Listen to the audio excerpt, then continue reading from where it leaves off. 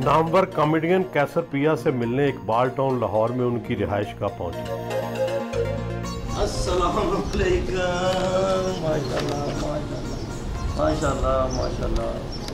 बस दो वड़ाया च आपस मिल गए पता नहीं वेस किनू चढ़ेगी। सर मैं तो पहले पता होंगे तो मैं क्रेन मंगवा लेने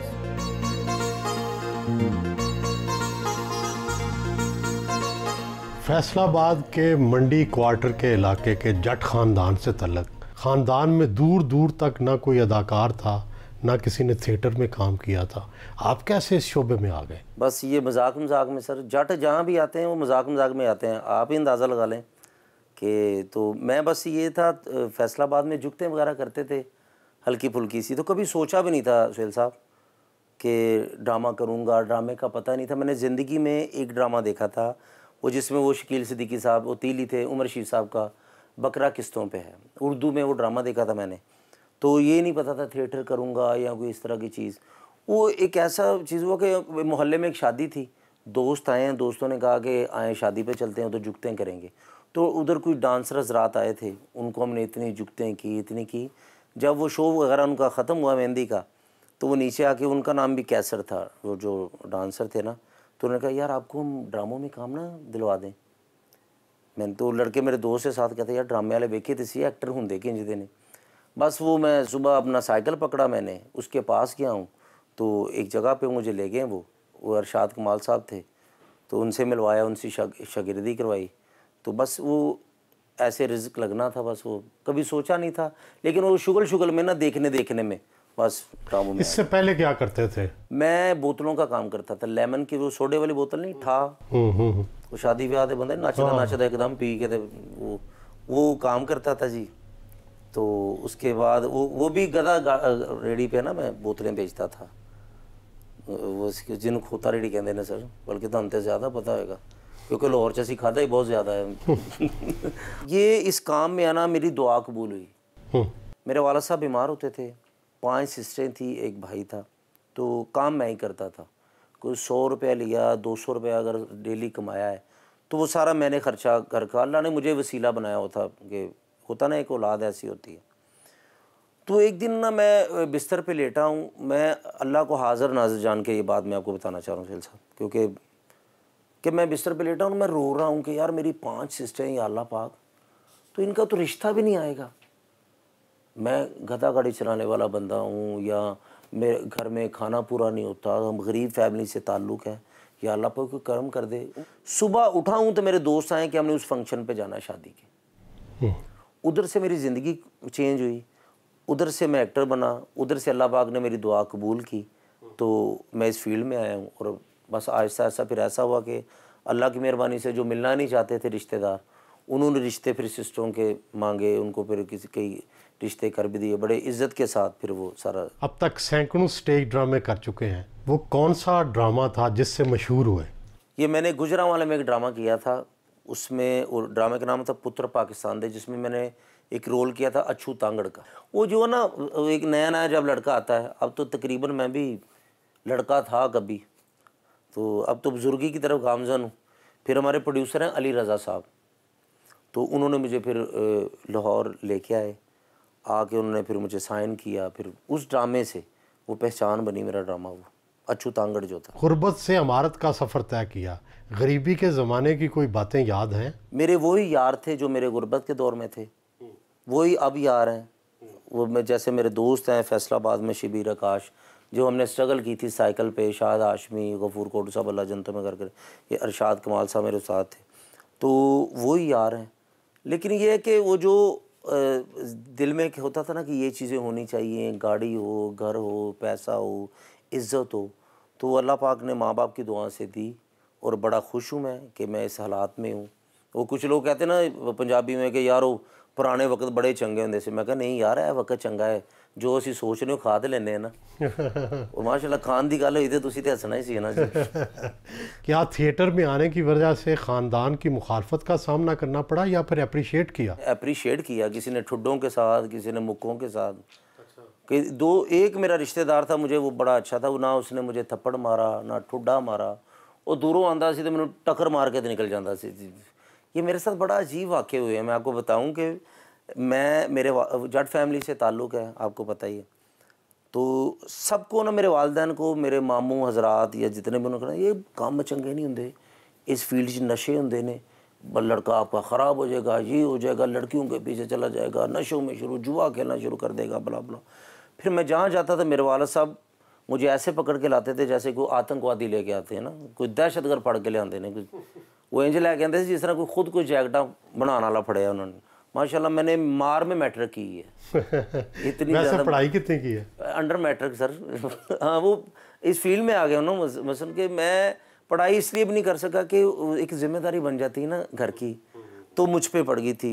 थिएटर में काम किया फ़िल्म में काम किया टीवी में काम किया इनका तकाबल कैसे करेंगे? मैं थिएटर का ये कहूँगा कि थिएटर तो मुझे जो सबसे ज़्यादा पसंद है सर हमारी पहचान थिएटर मैंने टेलीविज़न प्रोग्राम में करता हूँ आपने देखा, बल्कि आप आए भी हैं। तो फ़िल्म मैंने एक की है लोड वेडिंग के नाम से, जिसमें वो फाहद मुस्तफ़ा हैं, सर। तो लेकिन मुझे सबसे ज़्यादा जो मज़ा आता है ना, सर, काम करने का, वो लाइव आता है, थिएटर में। लेकिन टेलीविज़न का मैं इसलिए कहूँगा कि ज़्यादा शोहरत मिली, ज़्यादा मोहब्बत इसलिए मिली कि वो फैमिलीज़ अपने घर में, अपने बेडरूम जो है, देखते हैं। बाईस साल कैरियर है आपका फ़नी कैरियर इसमें सबसे मुश्किल तरीन दिन कौन सा था? मैं ड्रामा कर रहा था, लाहौर में सर। तो बड़ा हिट था मैं आउटडोर मेरे दोस्त हैं शाहिद खान साहब। तो उन्होंने कहा कि यार कैसर पिया जो तुम बातें आउटडोर में करते हो ना, लाहौर के स्टार उधर जाके करते हैं। तब तुम लाहौर आओगे। तो जब मसन के सारी बातें तुम्हारी कर जाएँगे ये। मैं अब लिखता था सर मुझे लिखने का बड़ा शौक है। क्या आप भी लिखते हैं? अभी भी मैं लिखता हूँ कॉमेडी मैं लिख के काम करता हूँ अभी भी। तो मुश्किल दिन वो था मेरे लिए जब मैं लाहौर आया तो ड्रामा करने वो मेरे जो बहुत दोस्त थे जो बड़ी मोहब्बत थी सबकी मुझसे तो सबने कह दिया कि हम कैसे रुपया के साथ काम नहीं करेंगे। मैं बड़ा तेज़ था उस वक्त। लोग डरते थे या क्या था मुझे नहीं समझ आई। तो मैं क्रेडिट देना चाहूँगा फ़िल्म स्टार खुशबू साहबा को। मेरे लोग काबिल एहतराम है, उन्होंने मुझसे बहुत ज़्यादा मोहब्बत की। मेरे साथ कोई एंट्री नहीं कर रहा था तो एक नसीम विकी साहब थे। जिन्होंने कहा कि यार कोई इसके साथ एंट्री ना करे, मैं इसके साथ एंट्री करूँगा। वो मेरे लिए ऐसा एक लम्हा था, सर, सुहेल साहब, कि मुझे, मैंने कहा कि ये तो वो दोस्त हैं जो मेरे साथ खाने खाते हैं। इधर आके ये कैसे व्यतीत हो गया यह सारा सिस्टम तो वो मेरे लिए बड़ा एक लम्हा फ़िक्र था। एक मेरा, मुझे याद है वाक़ कि जिसमें वो एक ड्रामा था जफरी खान साहब, जिसमें हिट हुए थे। बैठो बैठो ले आ डाला टाइम पास मैं पुलिस वाला बना, सर। तो मुझे उन्होंने मैं एंट्री करने लगा हूँ। जफरी खान साहब और टैडी साहब का ना मैच पड़ा था। तो मुझे उन्होंने कहा कि मैं एंट्री करने लगा हूँ तो मुझे डायरेक्टर थे। अल्लाह उनको जन्नत में कर दे, मैं नाम नहीं लूँगा, चले। उन्होंने कैसे साहब, आप जफरी साहब और इनकी एंट्री में नहीं जाएँगे। मैंने कहा, मैडम, वो क्यों? कहते, वो मुझे आर्डर हुआ है कि इस ड्रामे में जफरी खान साहब को हिट करना है।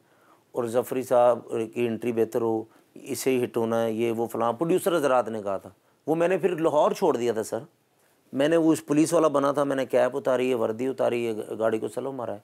मैं फैसला फैसलाबाद चला गया। फिर मैं पाँच साल बाद लाहौर आया था दोबारा। असल नाम तो कैसर रशीद है। बहुत से आर्टिस्ट फ़नी दुनिया में आने के बाद अपना नाम तब्दील कर लेते हैं। आपने क्यों तब्दील किया और पिया क्यों रखा? मैं ये निक नेम मैं वैसे भी साबर पिया सरकार को मानने वाला हूँ। तो ये हम कमालिया ड्रामा कर रहे थे। तो तारक टैडी साहब हमारे मोस्ट सीनियर हमारे बड़े भाई हैं। मैंने ना, मैंने कहा कि वो निक नेम रखते हैं जैसे, ठीक है ना? आप कॉमेडियन होते हैं या ड्रामों में काम करते हो तो आपका नाम भी सुहेल आड़ू होता शायद, या सुहेल मुक्का, यो इस तरह की चीज़ वो होती मतलब वो एक निक ना नेम ज़रूरी है ना, जिस तरह नसीम भी की तारक टैडी इफ्तार ठाकुर या सारा। तो टैडी साहब ने फिर कहा कि पिया रख लो। तो उधर से वो नाम पिया रखा। जब से वो नाम पिया रखा है वो पिया पिया पिया फिर कुछ खाया कुछ पिया। अभी खाने के लिए बहुत कुछ है आप टेंशन ना लें सर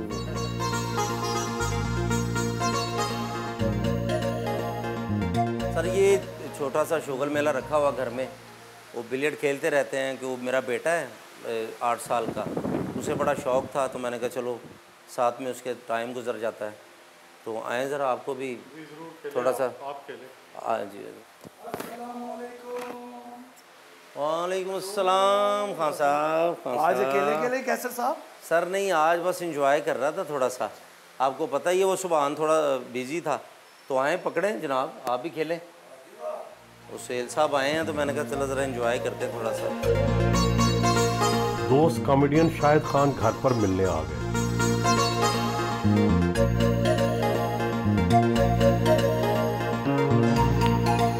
ब्लेड खेली।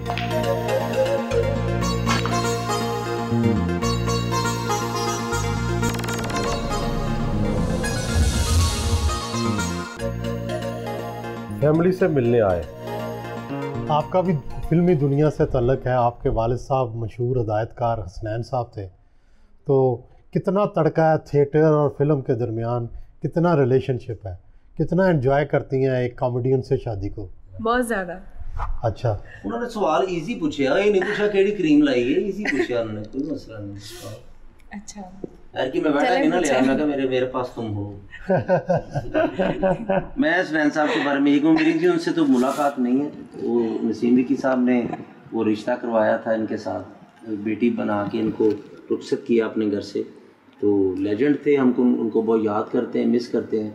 क्या आप भी जुगते करती हैं? ਝੁਕਤੇ ਸਾਰੇ ਖਾਰਸ਼ ਕਰ ਲੈਂਦੀ ਜੁੱਤੀ ਪਾਲਿਸ਼ ਕਰ ਲੈਂਦੀ ਮਾਲਿਸ਼ ਕਰ ਲੈਂਦੀ ਜੁੱਤਾਂ ਕਰ ਲੈਂਦੀ। ਇਹ ਸਰ ਤੁਹਾਨੂੰ ਪਤਾ ਨਹੀਂ ਇਹ ਕੀ ਬੁਲਾ ਹੈ ਮੈਂ ਹੁਣ ਜੋ ਟ੍ਰਾਂਸਪਲਾਂਟ ਨਹੀਂ ਸੀ ਕਰਾਇਆ ਨਾ ਤੇ ਮੈਨੂੰ ਕਹਿੰਦੇ ਸੀ ਕਿ ਬੈਠੇ ਨਾ ਕਹਿੰਦੇ ਮੈਂ ਕਿਹਾ ਤੈਨੂੰ ਮੈਂ ਕੈਸਾ ਲੱਗ ਰਿਹਾ? यदि मेरे खावन का फटे पैम्पर वर्गा सिर होया इस टाइम उसके बाद मैंने ट्रांसप्लांट करवाया था सारा। खुल के गल करो समझो ਤੁਸੀਂ कि तो नहीं ना मैं कर सकती। डांट डालती रहती है इनको? नहीं नहीं डांट नहीं कुछ भी नहीं। मैं तो कुछ कहती ही नहीं इनको हाँ, कुछ नहीं कहती वैसे क्या बात है?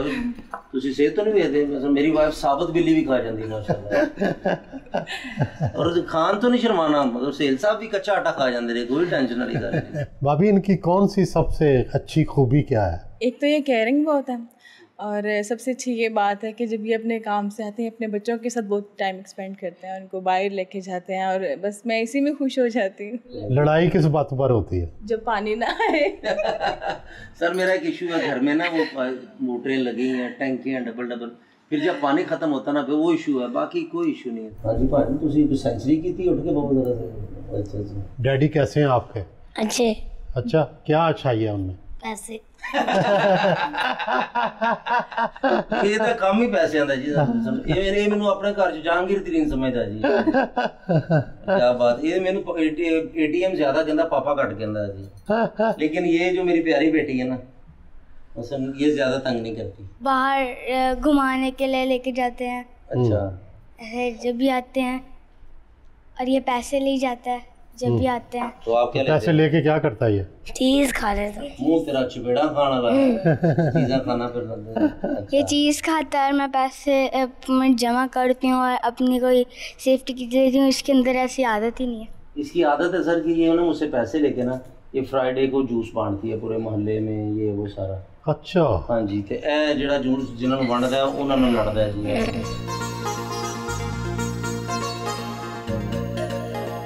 चाय पी।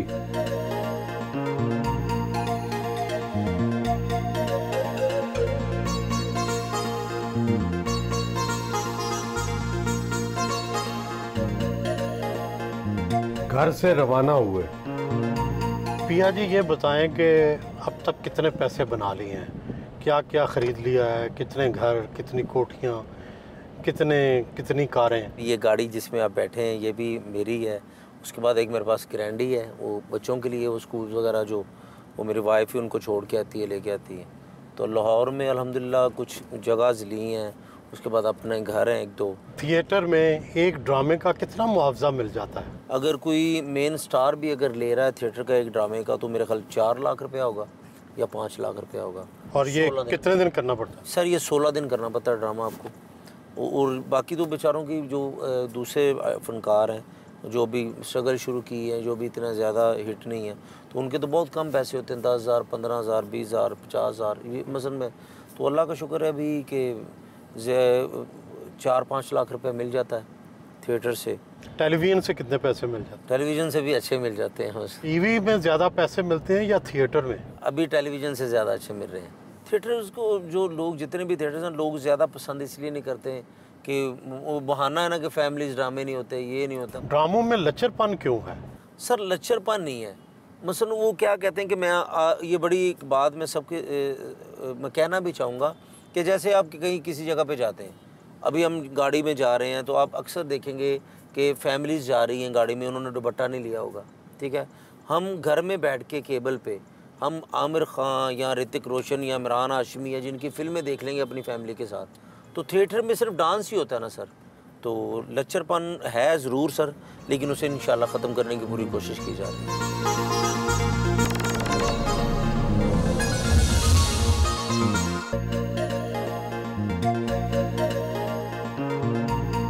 नामवर प्रोड्यूसर सखी सरवर भट्ट से मिलने उनके घर पहुँचे।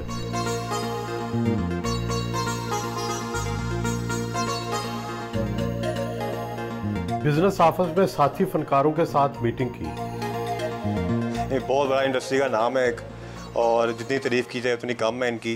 One of the best partner है हमारे और एक कमिटमेंट करने वाले इंसान है। ये हमारे हर कारोबार में आ, साया बसाया हमारे साथ चलते रहते हैं और कारोबार क्या?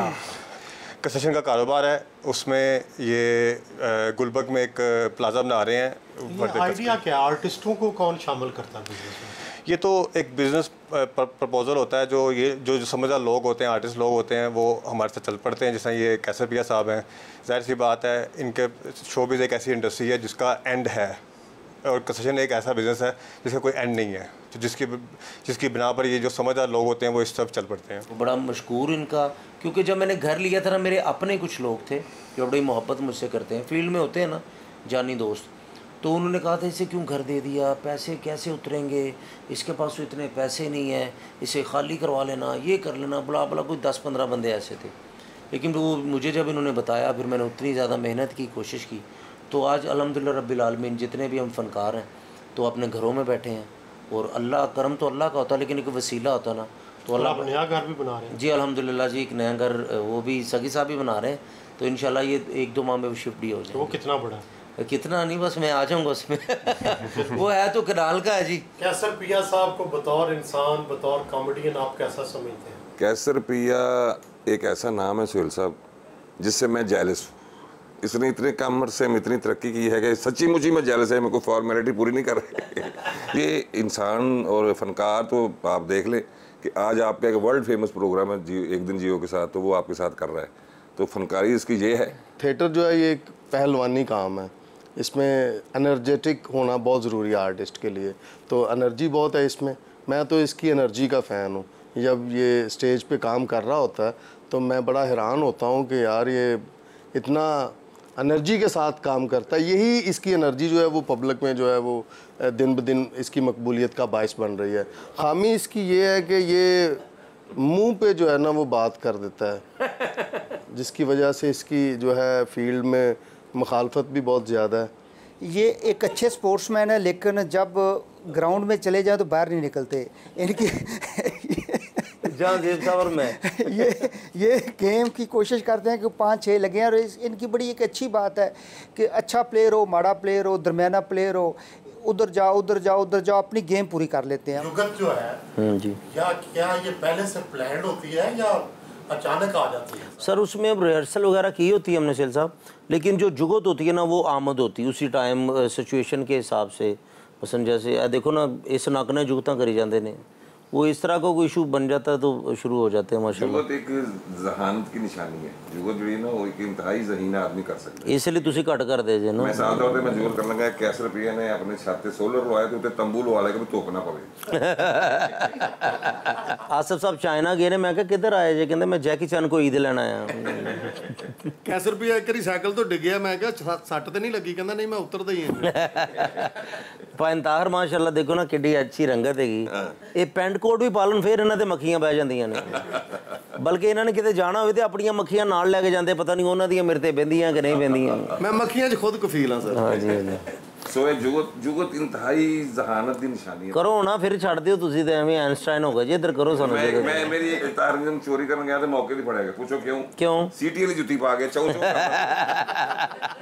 ਆਸਫ ਸਾਨੂੰ ਮੈਂ ਇਤਵਾਰ ਵਾਲੇ ਦਿਨ ਮੈਂ ਕਿਹਾ ਤੁਹਾਡੇ ਘਰ ਬੇਟਾ ਪੈਦਾ ਹੋਇਆ ਕਹਿੰਦੇ ਚਲੋ ਇਤਵਾਰ ਨੂੰ ਤੇ ਛੁੱਟੀ ਹੁੰਦੀ। ਇਹ 2 ਮਿੰਟ ਬਾਅਦ ਕਾਮੇਡੀਅਨ ਦੇ ਹਸਨ ਨਸਾਰ ਹੋ ਜਾਂਦੇ ਨੇ। ਮੈਂ ਸੀਰੀਅਸ ਹੋ ਜਾਂਦਾ ਮੈਂ ਤਾਰ ਸਾਹਿਬ ਨੂੰ ਮੈਂ ਕਿਹਾ ਤੁਹਾਡਾ ਜਿਹੜਾ ਰੰਗ ਕਾਲਾ ਕਿਉਂ ਕਹਿੰਦੇ ਮੈਂ ਕ੍ਰਿਸ ਗੇਲ ਦੀ ਲੜੀ ਚੋਂ। ਤੱਕ ਸਾਹਿਬ ਕਹਿੰਦੇ ਮੈਂ ਚੌਧਰੀਆਂ ਬੜਾ ਵੱਡਾ। ਪਤਾ ਕੀਤਾ ਤੇ ਨਿਦਾ ਚੌਧਰੀ ਦੀ ਫੈਮਿਲੀ ਚ। ਵੇਖੋ ਨਾ ਬਾਥਰੂਮ 'ਚ ਬੈ ਕੇ ਮਿੱਠੇ ਚੌਲ ਖਾ ਲੈਂਦੇ ਨੇ। ਇਹਨਾਂ ਨੂੰ ਕਿਹੜੀ ਬੋ ਆਣੀ ਇਹ ਤੇ ਨਹੀਂ ਵੈਸੇ ਬੜੇ ਪਿਆਰਾ ਨੱਕ ਤੁਹਾਡਾ ਫੀਨਾ ਜਿਹੜਾ ਲੈ ਜਾ ਤੂੰ ਲੈ ਲੈ ਪੂਰਾ ਦੇ ਦੇ। ਰਕਸ਼ੇ 'ਚ ਜਾ ਰਹੇ ਤੇ ਰਕਸ਼ੇ ਵਾਲਾ ਕਹਿੰਦਾ ਕਿੱਧਰ ਜਾਣਾ ਕਹਿੰਦਾ ਨੱਕ ਦੀ ਸੇਧ ਤੇ ਲੈ ਜਾ ਤੇ ਉਹਨੂੰ ਰਕਸ਼ਾ ਮੂੰਹ ਦਾ ਮਾਰਤਾ ਜੀ।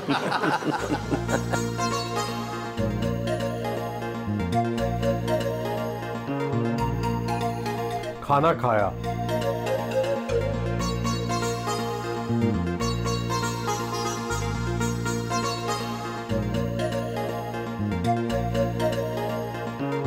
जवान हैं, खूबसूरत हैं, पैसे भी आ गए हैं। कोई ना कोई इश्क तो लड़ाया होगा। मैं अभी जब जवान नहीं था, तब पैसे नहीं थे, तब इश्क भी लड़ाया है।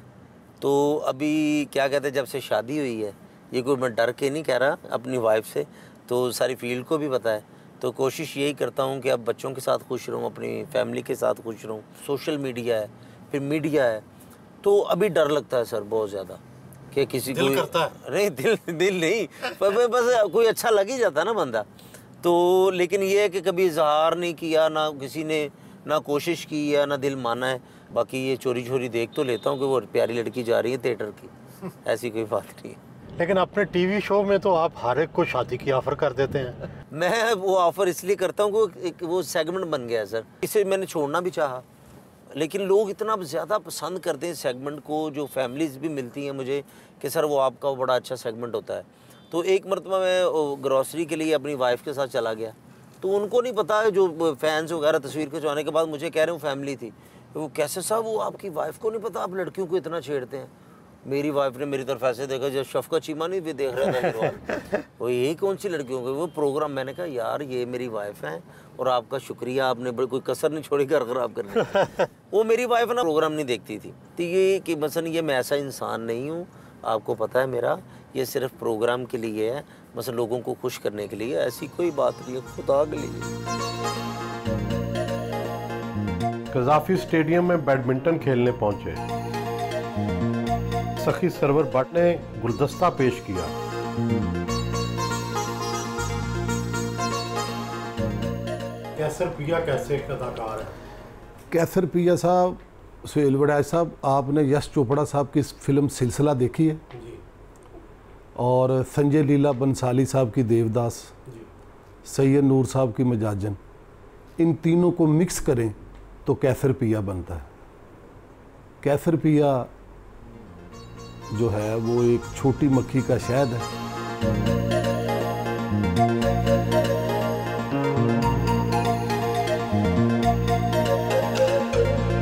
वो बैडमिंटन के अच्छे प्लेयर हैं।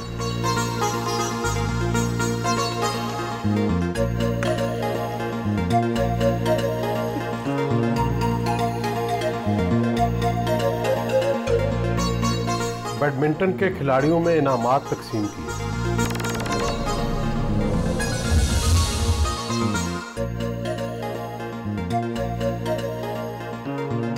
हर अदाकार मुशाहिदे से अपने किरदार को तकवीत देता है, उसको बनाता है।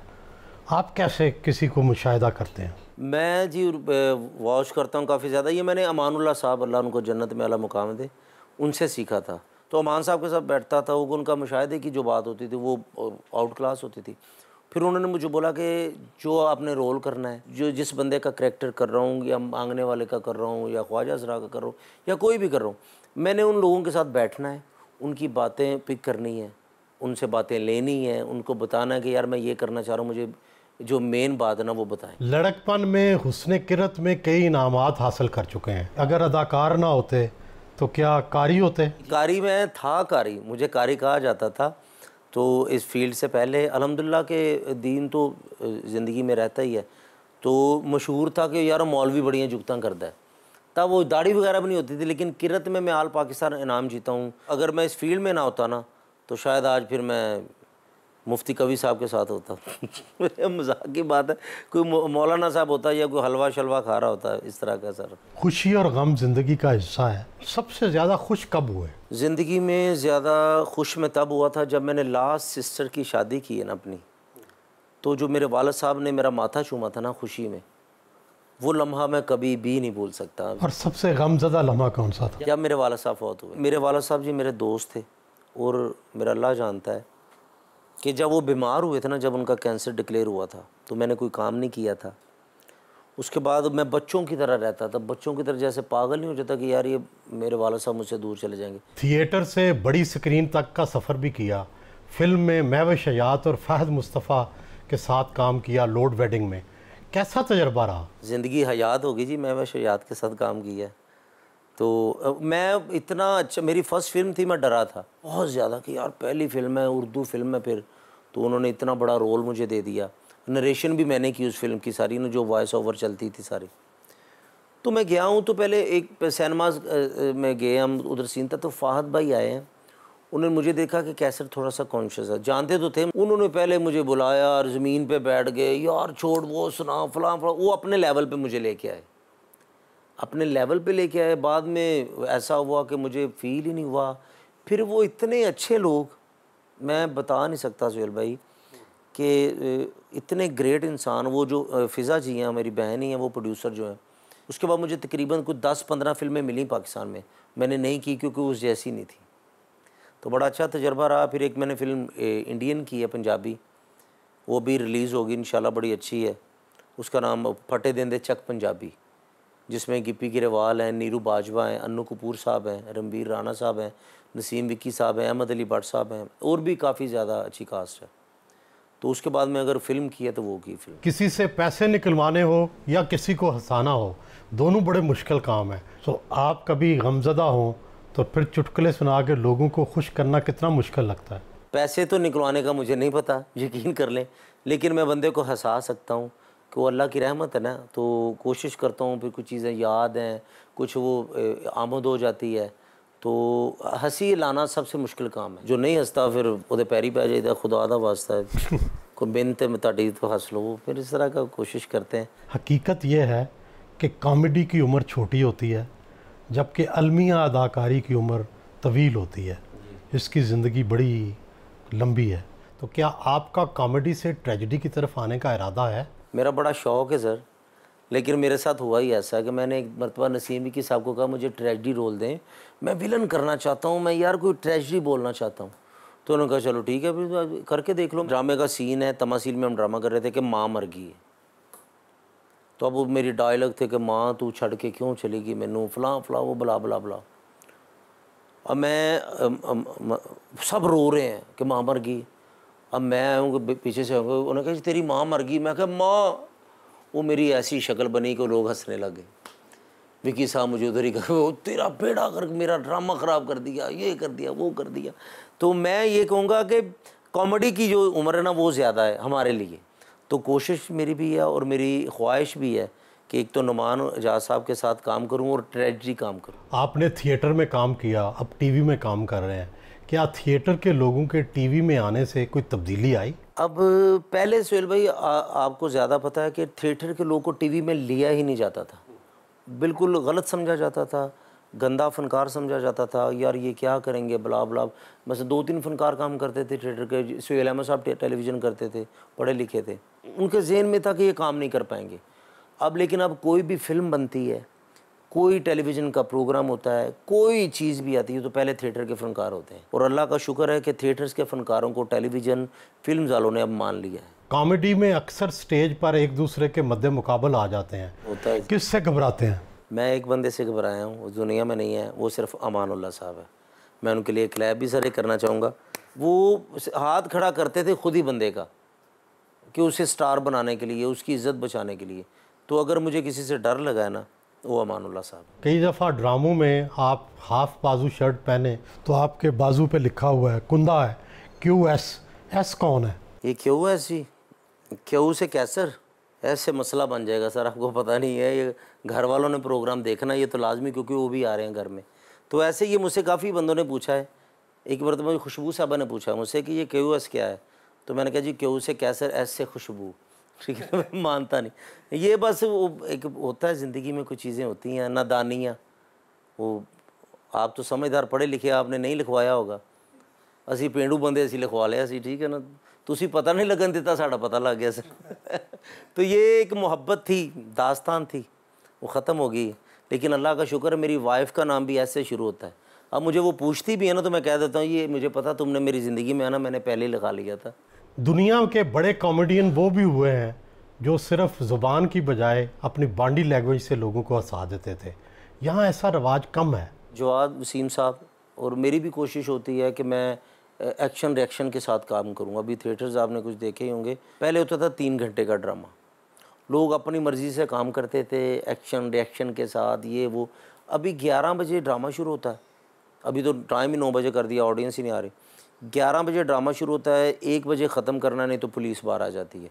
उसमें से चालीस मिनट के गाने दस मिनट का इंटरवल एक घंटा दस मिनट में कैसे ड्रामा कर सकते हैं तो इस वजह से फिर जो भी आता है एक एक एंट्री आती है वो खड़े होकर अपना अपना करते हैं और वो चले जाते हैं। पसंदीदा गुलकार कौन सा है? मेरे गुलाम अली साहब हैं जी।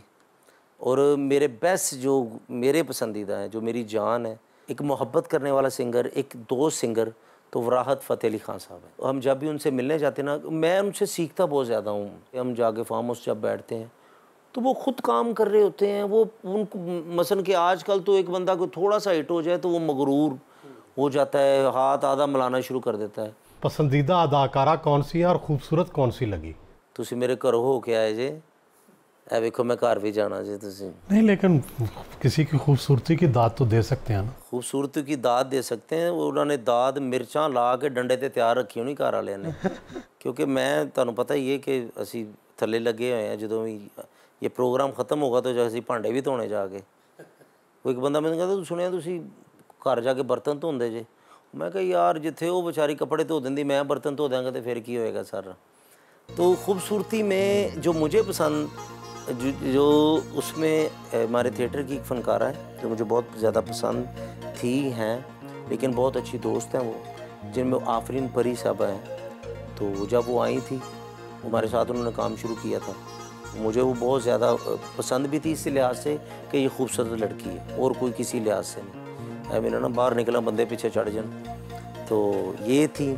उसके बाद खुशबू साहबा उनकी क्या ही बात है खूबसूरती में। लेकिन जो खूबसूरत भी थी, जिनका एक्सप्रेशन भी बहुत अच्छा था, जिनका काम भी बहुत अच्छा था डांस भी बहुत अच्छा था, वो एक ही है, वो नरगस साहबा